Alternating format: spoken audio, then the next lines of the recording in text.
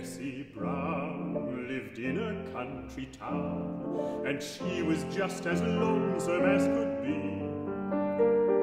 Cause other little girls had toys and dolls with curls. She said, Papa, they never play with me. So Daddy bought his pet, a little croquet set. She tried but could not play the game alone. Other side of her back fence, she spied a little boy, then to him she did say, Won't you come over, help tramp down the clover and play croquet? I'll let you win every game that you're in if you'll say take a mallet and hit the ball hard, and then we'll both chase it all over the yard.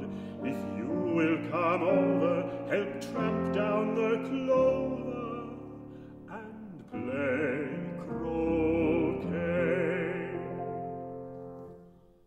O'er the fence he came, then Bess taught him the game.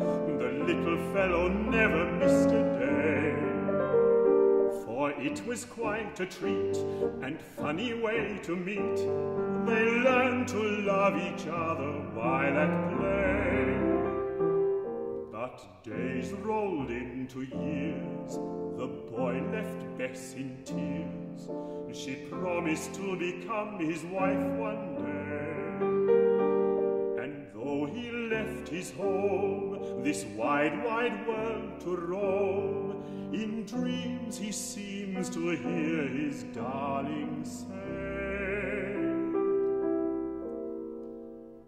Won't you come over, help tramp down the clover and play croquet? I'll let you win every game that you're in if you'll say. We'll each take a mallet and hit the ball hard, and then we'll both it